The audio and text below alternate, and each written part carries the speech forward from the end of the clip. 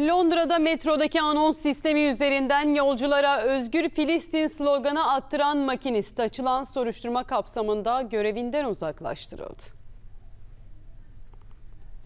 Ülke yönetimlerinin tüm engellemelerine rağmen Avrupa'da da Filistin'e destek eylemleri sürüyor. İngiltere'nin başkenti Londra'da Filistin'e dayanışma gösterisine giden göstericilerin bindiği metronun makinisti anons sistemini kullanarak yolculara özgür Filistin sloganı attırdı. Makinist slogan attıktan sonra umarım hepiniz bugün güzel bir gün geçirirsiniz. Kendinize iyi bakın.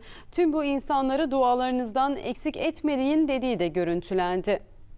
Görüntülerin sosyal medyada paylaşılması üzerine İngiliz Ulaştırma Polisi ve Demiryolu İdaresi soruşturma başlattı. Soruşturma kapsamında anons sistemini kötüye kullandığı gerekçesiyle sürücü görevinden uzaklaştırıldı.